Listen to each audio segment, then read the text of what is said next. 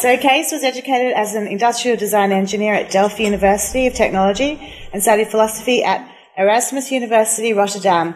Currently, he's Professor of Design Innovation at the Faculty of Transdisciplinary Innovation at the University of Technology, Sydney. He's the founder of the UTS Design Innovation Research Centre, that's here, and the New South Wales Designing Out Crime Research, Research Centres.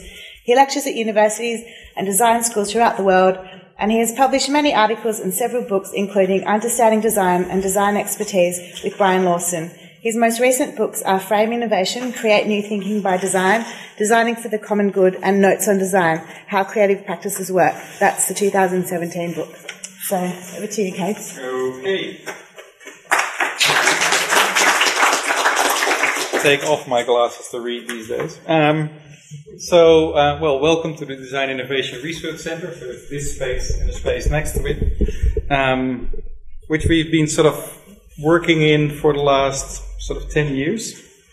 And um, thank you for your uh, talk. I think, sort of, for the sake of the discussion here, I think it would be interesting. So, I've got a background in design as well as in philosophy. But as we are practitioners here, and the talk was quite philosophical, I'll switch to design side and actually try to sort of give the flip side of the talk a little bit in just sort of 10 minutes or something. And it is um, transition design as a notion and transition design as the way it's been explained here is setting out a need for design to actually step forward and do something. So it's a challenge and it puts some expectations on design. And that's one of the things where I would like to sort of think with you today. Are those expectations realistic? Can design actually do these kind of things? I think one of the most um, talked, so one of the most often mentioned words was complexity. How does how do designers actually deal with complexity? Can designers deal with these big system complexities? I would say that design came from fields where the complexity wasn't that big.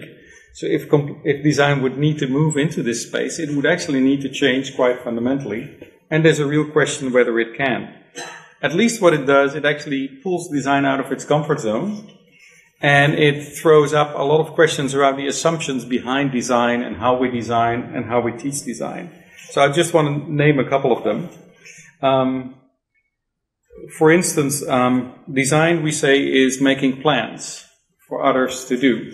Well, in this case, actually, you stick with it because if you want a solution, the process itself is what actually leads to the solution. The design process is not plan making for people to produce something, it is making and doing in one go. We talk about design being problem solving or problem solving like. I think the notion of complexity actually challenges what a problem is, or whether we can still call things problems. I'll, co- I'll come back to that in a minute.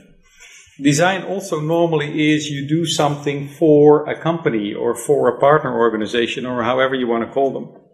Um, that's interesting in social design because you don't have a clear commissioning party often. It's the whole network that is actually what you're working for. What I see go wrong in social design projects, and some of them are very naive and they go very badly wrong, that is because normally when you, so I'm a product designer by origin, if you're a product designer, you work for a company and that company challenges your assumptions.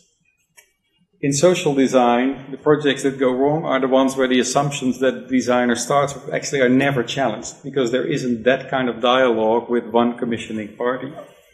So that those are all problems for design. Another one. We always think about design as happening in projects.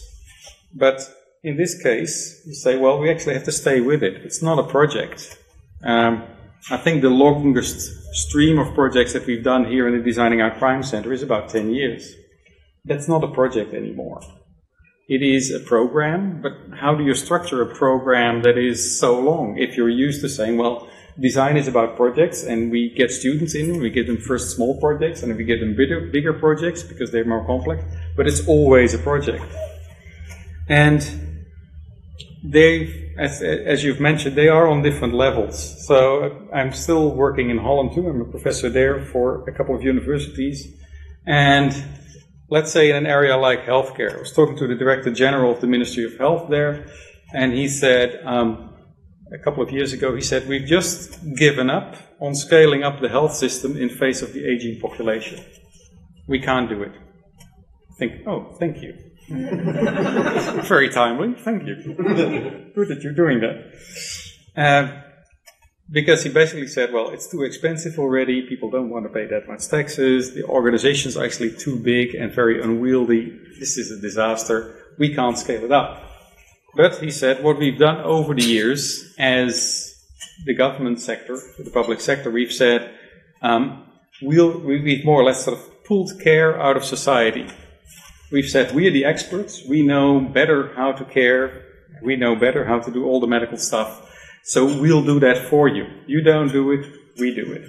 He said, well, when we can't afford that, we have to give it back to society. But how do you give care back to society without actually losing quality? That's not easy. There's some technical gimmicks that you can use these days, and there's the internet, etc., etc. But it is a completely different movement than what we're used to. Talk about a transition. It's actually a re- reversal of something. Because it's a reversal, it may not even be such a big problem. A friend of mine is a designer in Holland, um, in Rotterdam, and he set up what he calls a care republic in his own area, which is basically he realized that a lot of people in the area need care, a lot of people in the area are lonely, lots of people actually want to care for other people, so let's start that connection. And when professional care is needed, let's buy it in together so we can actually get it at a good price instead of the individual care. So that's what he set up. It works really. I can I can sort of show you the website in a minute. Um, it's a bit of a tricky website because you, you've registered as a volunteer before you know it. but it is really cool, and it shows that these things can be done. Of course, people want to care for one another. It's one of the things that make you feel good. So hey, let's do that.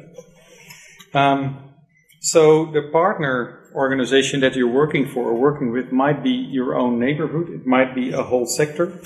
Um, it might be, in this case, also health insurance companies, etc., etc. So the notion of designers work for somebody else is actually not quite clear, which means that our business models suck because they're all made for you work for somebody who's going to pay you for what you do. Not anymore. So how do we do that? How do we redevelop that? And also the complexity, and this is a kind of a narky one that I won't get into too much. Um, it sort of stretches our cognitive limits as designers. Because um, what you've seen traditionally is that when there was a really complex problem like infrastructure, we left it to the engineers.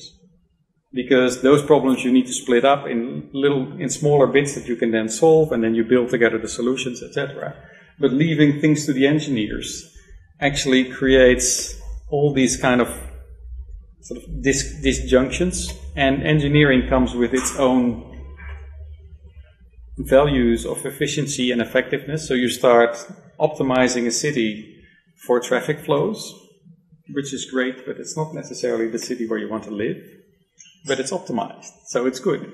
And that's almost a value in itself. So is there a limit to what design can actually do? Because designers have been trying to get into these kind of discussions, but somehow they don't. Is there a natural, is there a natural limit to the amount of complexity that, it, that design as a paradigm, as a way of thinking and a way of working, can actually deal with? I would say there is, but it, it's a longer story. Um, so these are all very basic things that we know about design. It happens in projects. Um, it, uh, it is about making plans. It is dealing with problems. It is working with partner organizations that are all not true in this type of design. The question is, would you still call it design then? Or would you call it something else? Because it is, in a very funny way, it is design beyond design. And that's what we've realized here in the Designing Out Crime Center. So just to sort of We've been around for about 10 years now, actually almost exactly 10 years to the day. And um, actually, the last thing we do is designing out crime, literally, because what we're interested in is that crime is a symptom of things that are wrong in society.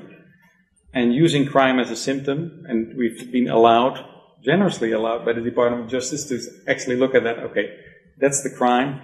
What did lead to this crime? So you're looking at, you're going upstream in a sense, you're going to look at where does this actually come from, which allowed us to do a lot of social and cultural projects in society, um, which otherwise would have been very hard to fund. There's always very little funding for good things for the people in society, but there's an immense amount of funding for fear in society.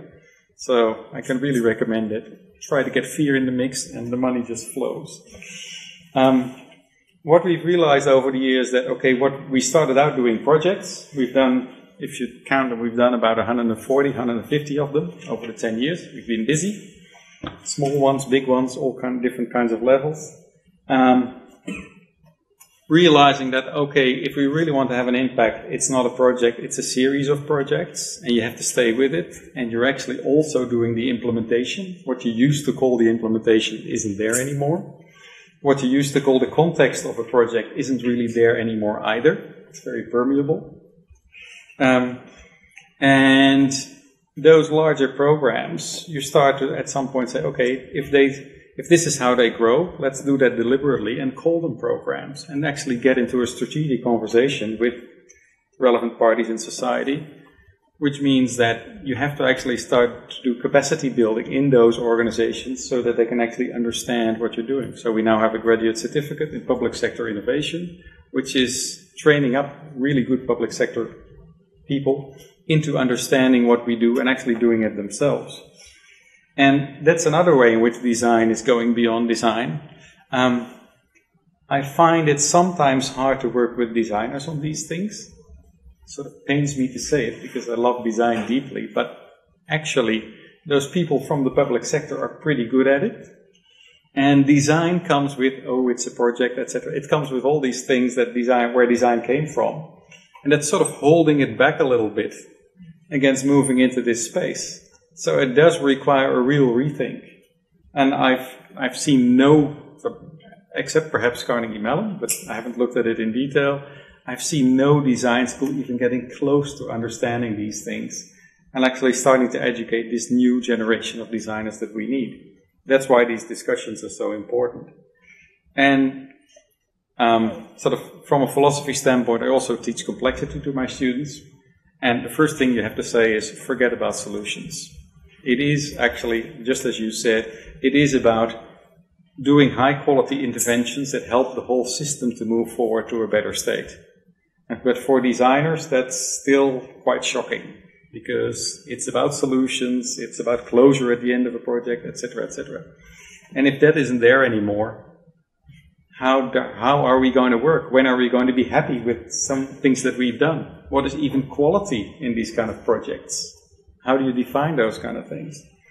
So I think we're, and um, the challenges before us are only getting bigger. I think we're absolutely right in saying that design has something to do in this space and can be very significant in this space. But the question that I would sort of like to pose for the discussion after our well earned break is okay, how does design actually need to change to be able to do this at all? Or is it not the designers anymore, the way they've been trained, but are those other people that are doing it? What is actually this new thing that we're trying to create together? And it is very needed. Um, I got approached by the Dutch government a couple of weeks ago. They've landed the UN Center for uh, Center of Excellence for Climate Change Adaptation. And they probably got it because of sea level rising, dikes, and those kind of things. But they realize it's much broader, and they start calling me, and you go, um, okay, I can do maybe something in that space. But it is about a complete redesign of everything in society when you start thinking about it. And how can we even start thinking about these things? Anyway, that's just a discussion starter. I think we're heading for a break now. Mm-hmm. Or six? Yeah. yeah? Okay. Okay. Thank you. Thanks. Thanks.